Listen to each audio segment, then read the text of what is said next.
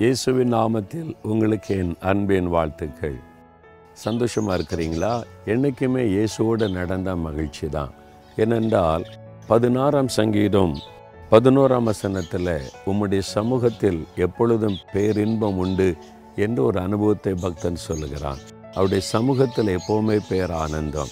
ஜெபிக்கிற இடத்துல ஜெப ரயில சர்ச்சில் மாத்திரம் அல்ல. அவருடைய சமூகம் எப்போவுமே நம்ம கூட இருந்தால் வேலை செய்கிற இடத்துல படிக்கிற இடத்துல தொழில் செய்கிற இடத்துல நம்ம நடக்கிற இடத்துல எங்கே போனாலும் அந்த பேரானந்தம் இருந்து கொண்டே இருக்கும். எப்பொழுதுமே அந்த தெய்வ பிரசன்னம் உங்களுக்குள்ளே இருக்கும்படி நீங்கள் காத்துக்கொள்ளுங்க. தினம் வேறு வாசித்து ஜெபித்து அவருடைய பிரசன்னத்தோடு காரியத்தை செய்யுங்க. அவரோடு நடக்கிற அனுபவத்தோடு வாழுங்க. எப்போவுமே நீங்கள் பேரானந்தமாக இருக்கலாம். அந்த ஆனந்தத்தை ஆண்டவர் உங்களுக்கு அருளி செய்வாராக.